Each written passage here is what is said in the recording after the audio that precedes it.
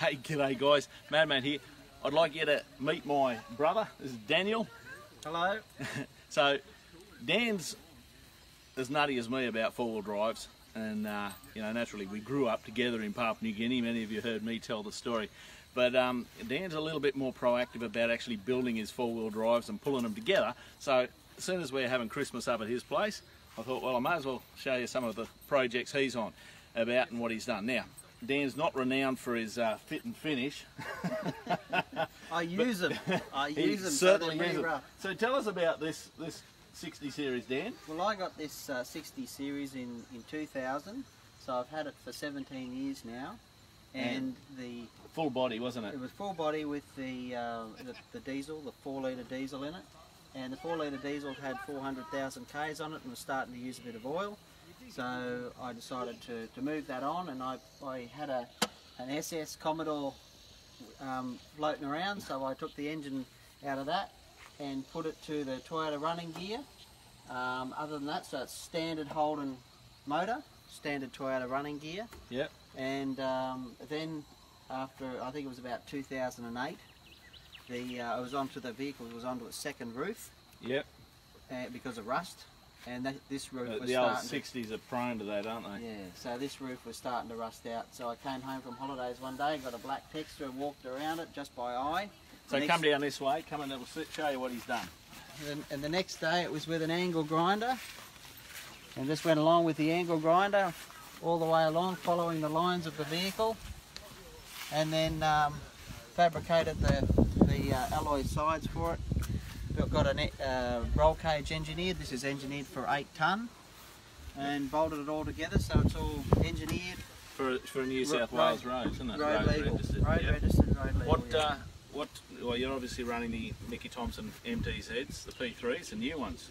Love the Mickey Thompsons. The Mickey Thompson tyres for me are the bee's knees because for the forward driving that I do, which is uh, a bit of everything, they, they, the side lugs help me with the mud, the, um, the, the tyres overall give me a, a good ride, um, soft ride, which I like. I'm not so concerned the fact about their, their soft. Uh, I like the fact that I don't have to let too much air out of them to uh, to go forward driving, and then when I get back on the road, I don't necessarily have to pump them up if I'm only doing a, a short stint to the, sure. you know, so I can go between tracks without having to pump them back up again because I'm on the beach a lot. Yep. Not necessarily with this vehicle because of the, the rust issues. Yep. Um, but uh, and what about what suspension you got in it? I've got Ironman suspension under this. It's a two-inch Ironman. That's about uh, probably 12, 13 years old. Yeah. Okay. Now. Um, still holding together. It's still holding together. It's still yeah got oh, yeah, its cool. got a standard height. You know the, All right. the Ironman height. So. so that's what do you call this one? Toy. As the badge on the front. Yep. There you go. So what do you got on this side, mate? So on this side's a, uh, a 58 Land Rover ex-Army reconnaissance vehicle and this one's had a, a going through a full rebuild uh, which will, this will end up road registered in about six months time and uh, I'll hoot around in that for a little while while I rebuild the engine in this one. now you've got plans you've got plans for that engine to be a little bit more than just a five litre, haven't you? Possibly the idea, the thoughts have been to supercharge it, although I think that's probably on the back burner now. Um, but I'm thinking about a uh, um, uh, intake a, a, a, intake manifold with a, a centre throttle body yep. um, that I can then put a bonnet scoop on it. Okay. Uh, so I'm thinking about that, and um, I've been talk I've been getting pricing for stroking it, okay. um, and uh, putting a twin throttle body on it yeah. as well but uh, it's all up in the air. And see where you end up. See where I end up. I mean, as it is, it goes quite well. Makes a makes yeah. a nice note. note so very good. Yeah. Very good.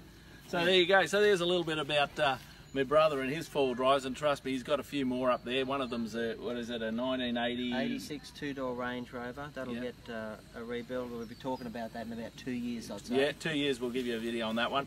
Out the back paddock's another Land Rover.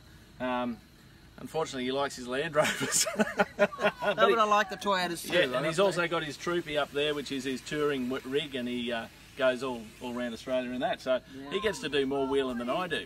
You want a job? All right, guys, I'm Mad Matt. Stay safe on the trails.